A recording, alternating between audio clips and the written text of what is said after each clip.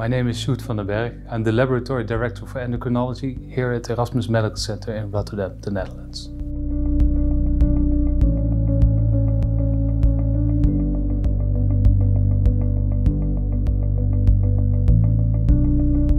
I think we run up to 100 patient samples a day, running them for SCC, chromogranin A, copeptin, thyroglobulin and thyroglobulin antibodies.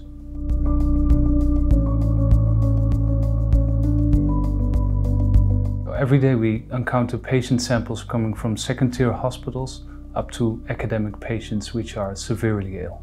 And the combination of those two makes it challenging.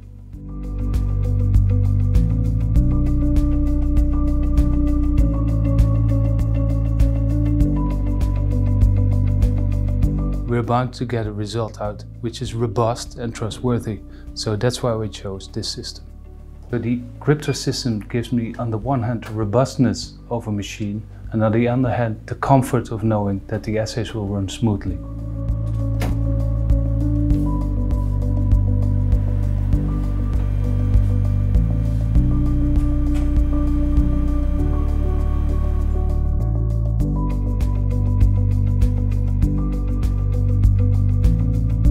In terms of robustness, there's two features which I like most. One is the low variation of the assays, and the other one is the long uh, mean time between failure of the machine.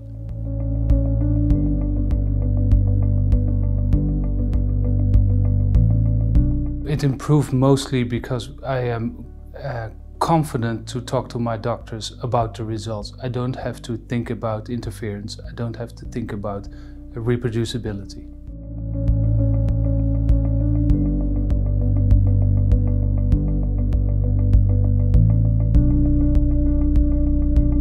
The main advantage of the Kryptor system is the test menu.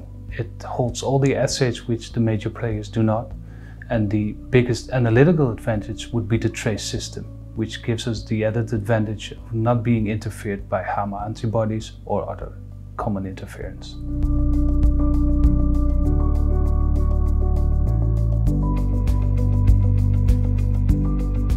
What I like most about Kryptor is its trace technology. So the trace technology gives me the advantage that I don't have to think about uh, interference in the immunoassay. It's fast, it's re reproducible, uh, and it gives me the added benefit to talk to my doctors about the result.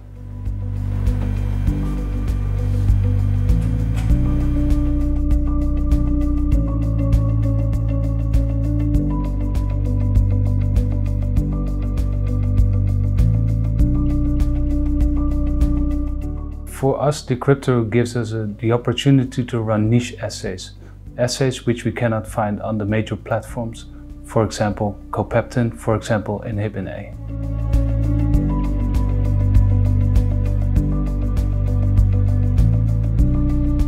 It's comfort.